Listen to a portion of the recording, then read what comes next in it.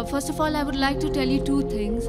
You said two things. One was like associating anything with God is a sin. It's the biggest sin, rather. The second thing you said that the form of prayer is that the Muslims follow is that you put your forehead down and it humbles yourself. Now, myself being from Bombay, I would, uh, uh, because this is something I've noticed. मोजिज दोस्तों मैं हूँ अली हसन और आप देख रहे हैं मेरा YouTube channel. नाजिन मोहतरम, एक ईसाई लड़की ने डॉक्टर जाकिर नाइक से सवाल किया कि बकौल इस्लाम अल्लाह के साथ किसी को शरीक ठहराना गुनाह है और अल्लाह के सिवा किसी की इबादत नहीं की जा सकती। लेकिन मेरा बहुत सा वक्त मुंबई में गुजरा और वहाँ बहुत सी दरगाहों पर मैंने मुसलमानों को कब्रों को सजदा करते हुए देखा है, जबकि सजदा तो सिर्फ़ अल्लाह ताला को किया जा सकता है, आप इसकी वजाहत कर दें। दोस्तों, इस लड़की ने सवाल करने से पहले डॉक्टर जाकिर नाइक साहब के इल्म, अंदाज बयां और ठोस दलाइल की तारीफ़ करते हुए कहा कि मैं कॉलेज में पढ़ती थी, तब से आपके बयान और लेक्चर सुन रही हूँ और आपसे मिलने की बड़ी ख्वाहिश थी जो आज पूरी हुई।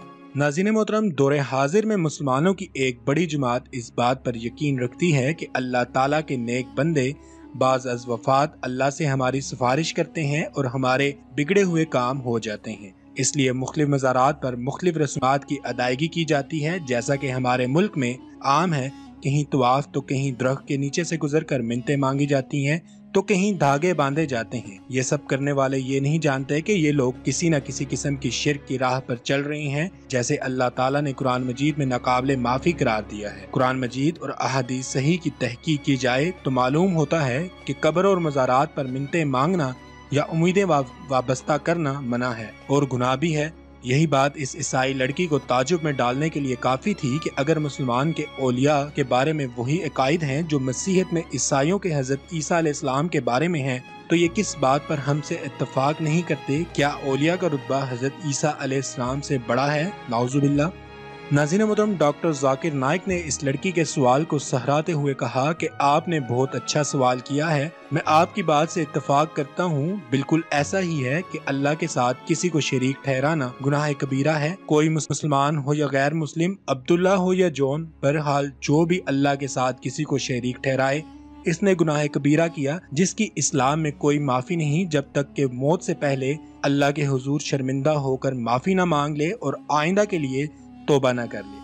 डॉक्टर जाकिर नाइक ने अपनी बात को जारी रखते हुए कहा कि जो कोई भी दरगाह पर जाकर सजदा करे तो गलत है, क्योंकि वो शिर कर रहा है। डॉक्टर जाकिर ने कहा कि कई बार अम्बिया कराम की शरीयत में ऐसी चीज़ें जायज़ हुआ करती थी, जो दूसरे अम्बिया की शरीयत में नाजायज थी, लेकिन शिरक एक ऐसा फेल है जिसकी हर नबी ने तरदीद की और लोगों को इससे बाज रहने की हदायत दी।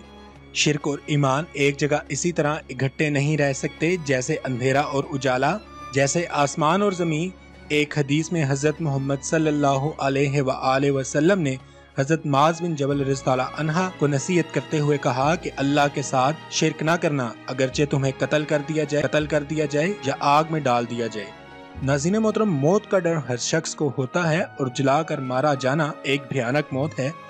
जिसमें आदमी तड़प तड़प कर मरता है और आखिर में इसका दिल फट जाता है, जिसकी वजह से इसकी मौत वाक़ होती है।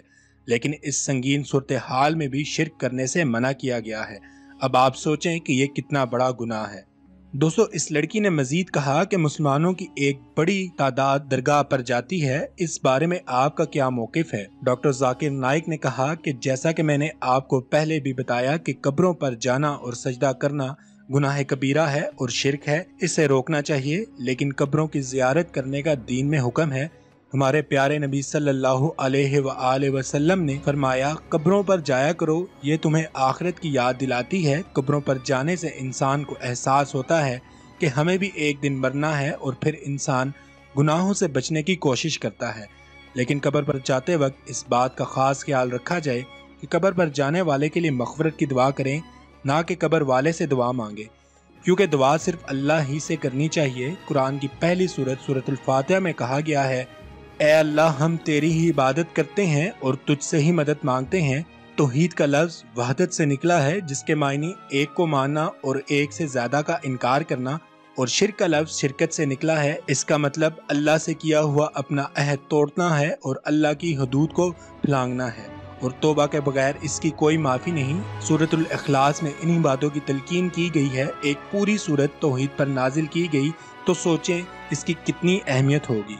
नाजीन मोहतरम, डॉक्टर जाकिर नाइक ने इस लड़की से कहा कि ईसाई हज़रत ईसा इस्लाम को खुदा समझ बैठे हैं और इस चीज़ से नावाकिफ हैं कि कितना बड़ा गुनाह कर रहे हैं। आप बाइबल पढ़ें तो कहीं जीजीज ने यह दावा नहीं किया कि वो खुदा हैं, यह अकीदा पादरियों का फैलाया हुआ है जो ईसाइयों से दूर ले जाना चाहते हैं। और कई लोग इस बात की तस्दीक किए बगैर इस बात को मान लेते हैं क्योंकि किताब पढ़ने का इनके पास वक्त नहीं, यही हाल मुसलमानों को है, ऐसा ही हिंदुओं का हाल है। दोस्तों, उम्मीद करता हूँ आपको आज की ये वीडियो भी पसंद आई होगी। वीडियो अच्छी लगे तो मेरे यूट्यूब चैनल को सब्सक्राइब करें। मैं मिलता हूँ आपसे नेक्स्ट वीडियो में, तब तक के लिए अल्लाह हाफिज़।